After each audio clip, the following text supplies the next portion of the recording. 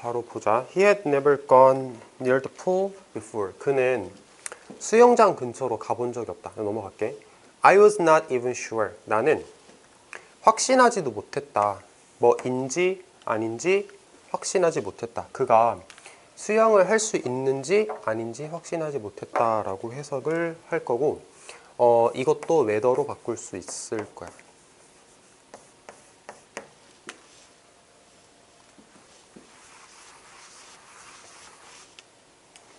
다음 거. The water is cold and it's getting late. 물 차가워. 그리고 늦어지고 있다. Are you sure? 너 진짜 확신해? 네가 들어가고 싶은 거 확신해? 라고 내가 물어봤다. 자, you 누구? you 누굴까? 어? 그 디에고. 디에고. Please 라고 이제 부탁을 했어. Alright then. 그럼 좋아. 내가 말했다. 근데 서둘러라.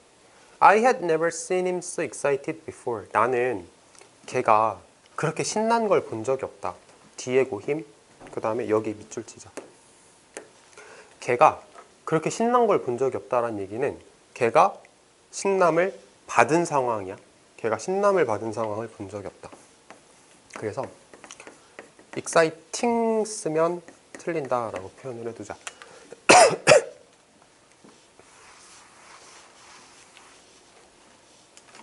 His eyes were shining with joy, and he seemed to be truly alive for the first time. 그의 눈은 빛나고 있었다. 즐거움으로. 그리고 그는 seem to 뭐처럼 보였냐면 진짜로 살아있는 것처럼 보였다. For the first time. 처음으로 진짜 살아있는 것처럼 보였다. 애가 되게 신나 보이는 거겠지. Without hesitating, he dived into the cold water. 자, 주저하지 않고 그가 다이빙을 해서 차가운 물 속으로 들어갔다. 자, 쉬운 건데 하나만 체크. without이 전치사라서 여기 ing 쓴 거 하나만 체크하자.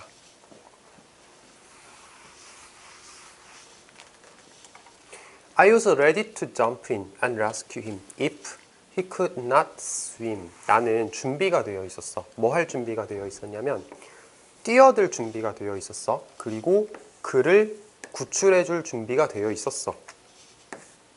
만약에 그가 수영을 하지 못한다면 내가 지금 뭐 체크한 거냐면 우리 앞에서 이거 뭐였지? 뭐인지 아닌지였어? if인데 뭐뭐인지 아닌지였다? 근데 이거는 만약이지. 그러니까 똑같은 if인데 쓰임이 다르단 말이야. 그러니까 문제 내기 딱 좋다라고 생각하면 되겠지. 그러니까 if에다가 밑줄 쳐놓고 나서 다른 걸 골라라. 쓰임이 다른 if를 골라라 라고 생각하면 문제가 만들어지는 거야. 자, however, 하지만 I soon realized that 내가 곧 깨달았다. 이거 명사절 접속사 그 뒤에 완전하다라고 하는 우리 수업 시간에 많이 했던 내가 깨달았다. I did not have anything to worry about. 내가 걱정할 게 아무것도 없다라는 걸 곧 깨달았습니다. 그 앞에서는 걱정을 하는 상황이라면 여기서는 이제 아 걱정할 게 없겠구나라고 상황이 반전됐으니까 however 썼다라고 생각하면 될 것 같고 그다음에 하나만 보고 가면 이거는 뭐뭐 할 이제 걱정할 것 이렇게 가는 거잖아. 투부정사 용법 자체가 뭐뭐 할로 해석한다 라고 생각하면 좋을 것 같아. 혹시 저거 투부정사가 좀 어려우면은 이렇게 이해를 하면 돼. 자 명사 뒤에 투부정사 나오면 할로 해석하거나 위해서로 해석하면 거의 맞아 거의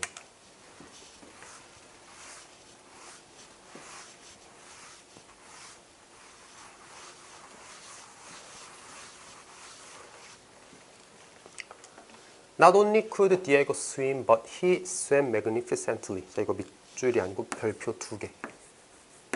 별표 두 개. 이거는 나올 거야 아마. 자, 나돈니가 버덜수랑 같이 쓰여서 뭐뭐일 뿐만 아니라 뭐뭐이기도 하다 이렇게 해석하는 표현이지. 보통 나돈니 A 버덜수 B라고 하는데 지금 얼소를 생략한 경우고 얼소는 생략해도 아무런 문제가 없어. 그 다음에 여기 이렇게 도치가 이루어졌고 여기서는 도치가 이루어지지 않았거든. 자 이게 무슨 말이냐면 좀 쉽게 말하자면 이런 거야. 오른쪽에다 쓸게.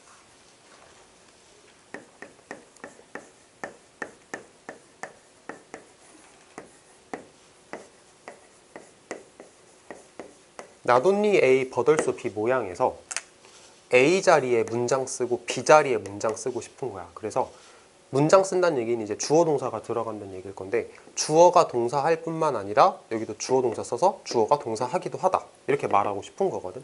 근데 나돈니라는 말이 부정하는 말이잖아. not이라는 말이 부정하는 말이잖아. 그래서 부정하는 말을 앞에다가 쓸 때는 도치를 해야 된다라는 부정어구 도치라는 구문이 있어. 그래서 주어 동사 자리가 바뀐 거고 but also는 부정어구 구문이 아니니까 주어 동사 자리를 바꿀 이유가 아무것도 없는 거야. 라고 생각하면 돼. 부정이니까 부정어구 도치를 한 거고 얘는 굳이 도치할 필요가 없으니까 그대로 쓴 거고 라고 생각하면 돼. 그러니까 주어 동사 위치를 잘 봐두고 이건 외우는 게 좋을 것 같아. 해석 다시 한번 해보면은 디에고는 수영을 할 수 있었을 뿐만 아니라 그는 수영을 magnificently 진짜 굉장히 잘했다. 굉장하게 수영을 했다. 다음 거. He chased after Juan Salvador and they swam in perfect harmony. 그는 펭귄을 체이스 쫓아갔다.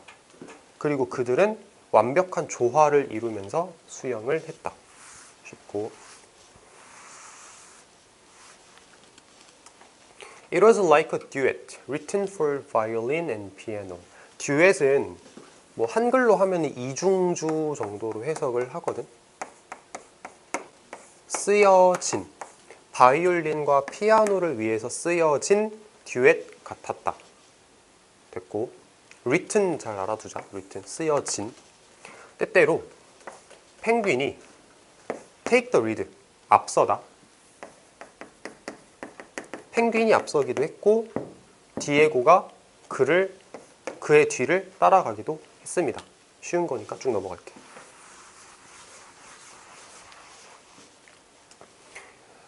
other time, 그러니까 이게 뭐냐면은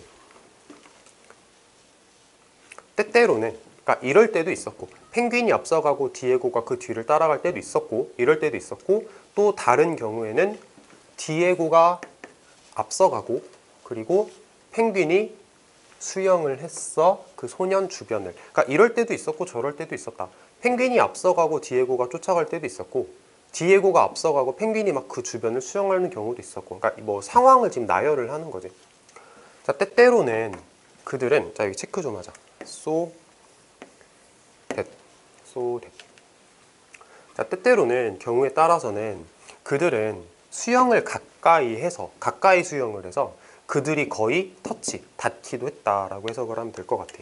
자, 어법 좀 어렵지 않은 거 하나 생각을 해보고 넘어갈게. so such that 차이 구별할 줄? 알아? 잘 모르겠어? so that 옆에다가 따로 적을 때 그러면.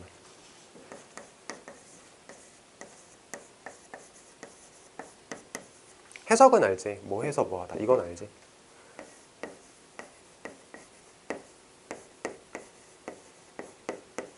자, 소댓하고 서치댓은 해석이 많이 다르진 않거든. 똑같다라고 말하는 것도 좀 애매하긴 하지만 사실상 거의 같은 해석인데 소는 여기에 형용사나 부사가 들어갈 때 쓰는 거다라고 이해를 하면 되고 서치는 명사가 들어간다라고 이해를 하면 돼. 그래서 뭐 해서 뭐 하다.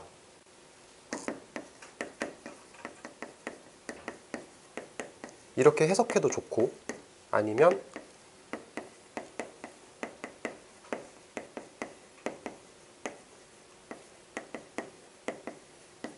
이렇게 해석해도 좋아. 이거 모르는 사람이 좀 많거든. 이게 무슨 말이냐면 예를 좀 들어줄게.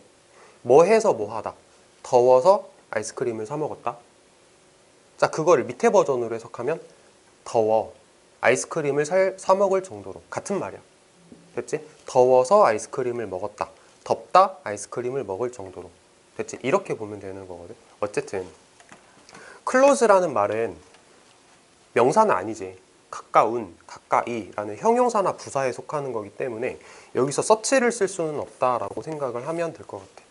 그러니까 저기에 소댓이 들어갔구나, 서치댓은 들어가면 안 되겠구나 하고 소댓 구문이니까 이 문장은 외워야겠구나까지 생각하면 돼. 아직 넘어가지 마. 하나만 더, 하나만 더 적을게. 뭐냐면 모스트하고 얼모스트도 구별을 해야 돼. 모스트는 가장이라고 해석하는 최상급일 때 쓰는 거 혹은 대부분이라는 의미를 가지는 그런 단어라고 생각하면 되고 almost는 거의라는 의미를 가지는 단어로 이해를 하면 돼. 이거를 뭐 어법적으로 형용사네 부사네라고 하는 것보다 해석으로 문제 푸는 게 더 쉽거든. 여기 보면 almost 쓸까 most를 쓸까라고 생각하는 문제가 나왔다라고 쳐보자. 그럼 해석을 해볼게. 때때로 그들은 너무 가까이 수영을 해서 그들이 그들이 거의 닿을 뻔했다가 맞는 말이지. 그래서 almost가 정답이야. most랑 문제가 나오면 이렇게 하면 돼. 뜻만 잘 기억하고 있으면 돼.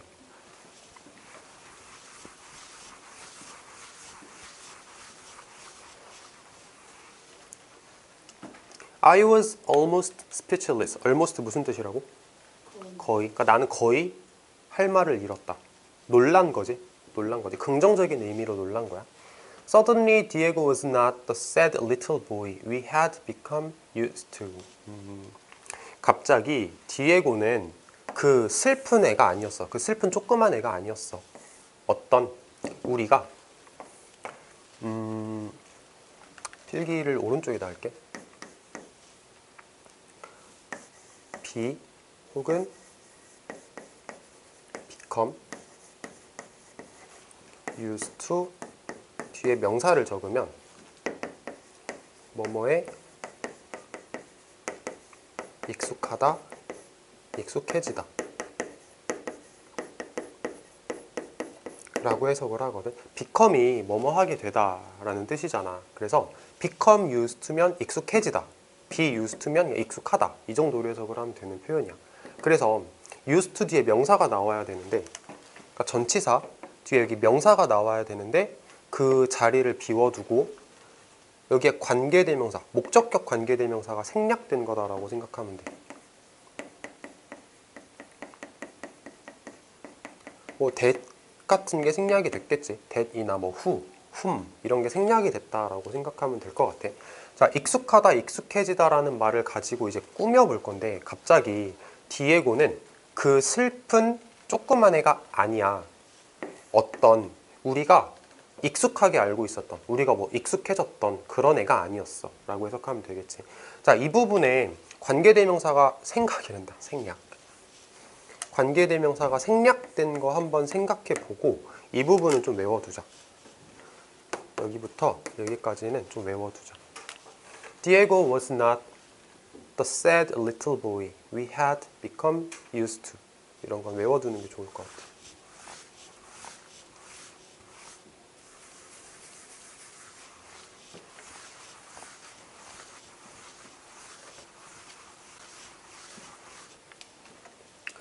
He was a very normal boy with a very special talent. 이거 재능이지.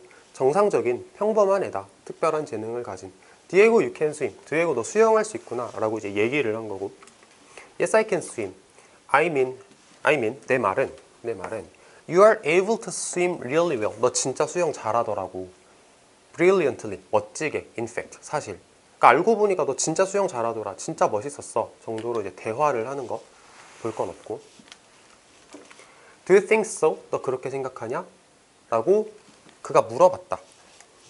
Without looking directly at me. 나를, 나를 똑바로 쳐다보지도 않고 말했다. 왜? 그래서, 그치. 부끄러워서 그렇게 얘기를 한 거지. But I saw a smile on his face. 하지만 내가 그의 얼굴에서 스마일을 보았다. 그러니까 부끄러운데 좋긴 좋은 거야. As we returned to the dormitory. 우리가 기숙사로 돌아갈 때 우리가 기숙사로 돌아갈 때 디에고가 나에게 말해주었다. 뭐를 말해주었냐면 아빠가 그에게 가르쳐 줬어. 어떻게 수영하는지. In the river. 강에서. By their home. 집 근처에 있는 강에서 어떻게 수영하는지 가르쳐 줬다. 라고 하면 될 것 같은데 어, 여기가 우리가 수업 시간에 배웠던 주어 동사 뭐뭐를 하는 명사절 목적어라고 생각하면 돼. 뒷문장 완전한 그거. 그 다음에 여기에 had PP가 나왔거든. had PP. had PP는 과거보다 과거일 때 쓰는 거라고 배웠지. 자, 디에고가 나한테 말해줬어. 뭐라고 말해줬냐면 아빠가 수영 가르쳐 줬다라고 말해줬어. 근데 디에고가 나한테 그 얘기를 한 거보다 수영 가르쳐 준 게 더 옛날 얘기지.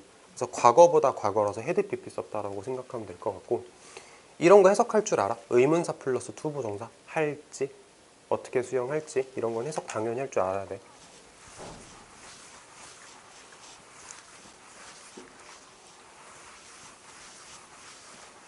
그 다음에 It was the first time he had talked about his life. 처음이었다. 그가 자신의 삶에 대해서 이야기를 한 건 처음이었다. I listened in silence. silence는 침묵이란 뜻이야. 그러니까 내가 침묵 속에서 그 얘기를 가만히 들어줬다. Without making any corrections to his English. 자, 이게 글 초반에 뭐라 그랬냐면 디에고라는 애가 어렸을 때 조기 교육을 제대로 못 받았어. 그래서 영어도 잘 못하는 애거든. 그러니까 얘가 이제 막 영어를 하면은 어 막 어법이라던가 이런 걸 똑바로 말하지 못할 거란 말이야. 그래서 내가 사실은 his English 걔가 영어를 하는 거에 대해서 고쳐주고 싶은 마음이 드는 거야. 근데 안 그랬다고. 내가 그냥 조용히 들어주었다. 얘가 말하는 영어가 틀린 영어인데 그 영어를 고쳐주지도 않고 그냥 조용히 들었다. 끼어들고 싶지 않은 거지. 말하게 냅두고 싶은 거지. as 뭐 할 때 디에고가 이야기를 하는데 논스톱 멈추지 않고 계속 얘기를 해. All the way back to the dormitory. 기숙사로 돌아오는 내내. Way 내내 정도로 해석하면 돼. 기숙사로 돌아오는 내내 얘가 멈추지도 않고 얘기를 할 때 나는 영어 틀리게 말하는데 고쳐주지도 않고 그냥 조용히 들었다. 근데 문제 쉬운 거 하나 내볼게. 내가 얘가 말하는 영어를 듣고 고쳐주지도 않고 조용히 들었다는 건 무시하는 거야, 존중하는 거야? 존중하는 거겠지? 디에고가 영어를 얘기를 하는 건 올바른 영어였다, 아니었다? 어, 틀린 영어였다. 또 얘가 멈추지 않고 계속 얘기를 했대. 이거 어떤 기분입니까? 어, 신난 거지. 그러니까 그런 거 되게 쉬운 문제로 나올 수 있다고.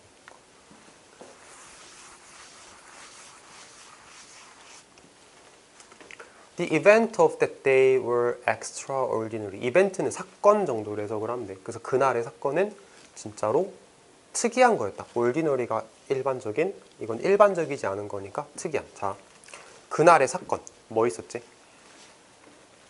펭귄을 데리고 수영장에 갔어. 그러니까 펭귄이 수영을 했어. 그리고 디에고가 와가지고 나도 해도 어, 나도 해도 돼? 이러고 수영을 같이 했지. 근데 디에고가 수영을 엄청 잘해서 생각보다 그래가지고 같이 기숙사로 오는 길에 디에고가 디에고가 신나게 자기 얘기를 하는 일까지가 다 이벤트겠지. 그날의 사건은 진짜 특이한 경험이었다. 하나만 보고 갈게. 이벤트 주어 월 동사. 자 수일치 문제 한번 생각해 보자.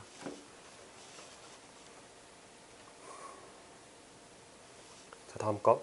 The child had gone down to the water. 그 아이가 어떤 한 아이가 한 아이가 물가로 내려갔다. 수영하기 위해서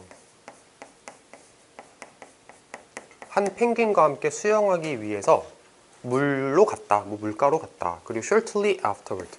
곧 그 후에 얼마 지나지 않아서 그 후에 한 어린 남자가 had emerged 등장했다. emerge가 등장하다라는 뜻이거든. 자 문제 한 문제 보자. a child 누굴까?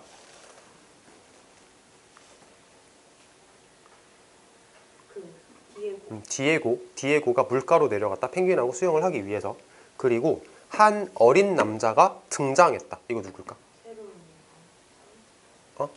새로운 사람 새로운 사람? 어그 디에고랑 펭귄 팀 그게 아니고 그게 아니고 뭐냐면은 얘는 소심한 디에고야. 그리고 얘는 변화한 디에고야. 그러니까 펭귄하고 수영을 하기 전에는 그냥 소심하고 부적응자 같은 디에고였잖아. 근데 수영을 하러 들어갔다가 나오고 나서는 남자가 됐어. 그러니까 저긴 차일드잖아. 애잖아. 여긴 남자지. 그러니까 변했다. 긍정적인 모습으로 변했다를 표현하고 싶은 거라고 생각하면 돼. 난 내가 출제자면 이런 거 낼 것 같아. 되게 좋은 것 같거든. 어 child하고 어 man 구별할 줄 알아야 될 것 같아.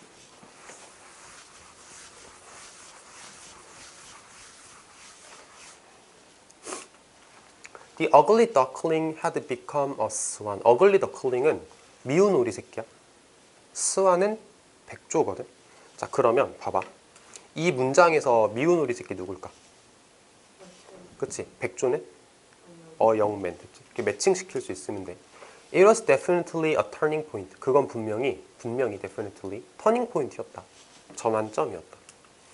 Diego's confidence grew quickly after that day. 디에고의 자신감이 성장했다. 빠르게 성장했다. 그날 이후로. When the school had a swimming competition. 수영 대회란 뜻일 거고 여기서 when은 뭐뭐 할 때. 그래서 그 학교에 수영 대회가 있을 때 그는 어, won every race he participated in. 그가 참여하는 모든 경주에서 다 이겼다. he 누구?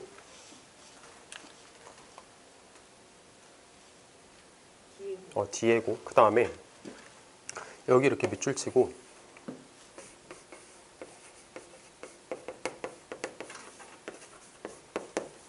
이렇게 쓰면 틀려. in 안 쓰면 틀려.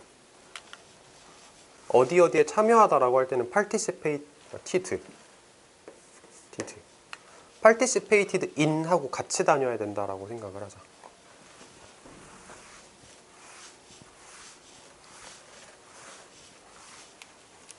끝나간다. The encouragement and acknowledgement given by the other boys was genuine. 자, encouragement하고 encouragement는 이제 격려, acknowledgement는 인정이란 뜻인데 격려와 인정이 주어고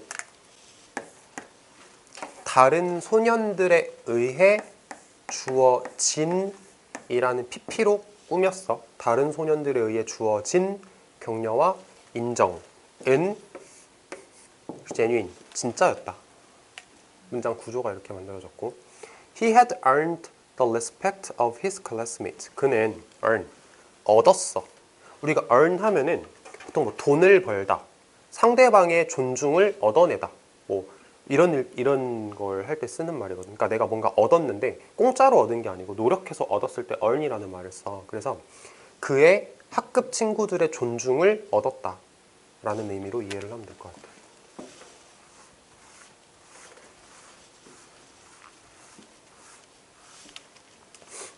Over the next few weeks, his grades improved and he became pop, became more popular.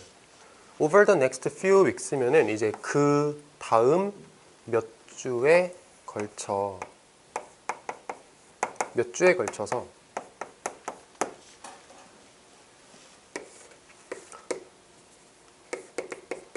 little 쓸수 없어. 왜냐하면은 weeks는 셀 수 있는 거니까 few를 쓰는 게 맞지. 그러니까 몇 주에 걸쳐서 그의 성적은 향상되었고 그는 더 인기 있어지게 되었다 라고 해석할 건데 이것도 하나 적어보자. popularly라고 부사 쓸 수 없어. 왜 그런 거냐면 이게 형부 문제로 굉장히 잘 나오는 건데 become 뒤에서 형용사 쓰냐 부사 쓰냐라는 문제가 나오면 형용사가 정답이야. 이거 수업 시간에 봤던 거 기억나지? 잘 나오는 거야. Thanks to a swim with a penguin. Thanks to 덕분에 펭귄과의 수영 덕분에 외로운 소년의 삶이 변화되었다. Forever 영원히. 그 끝이야? 끝이야? 끝났다.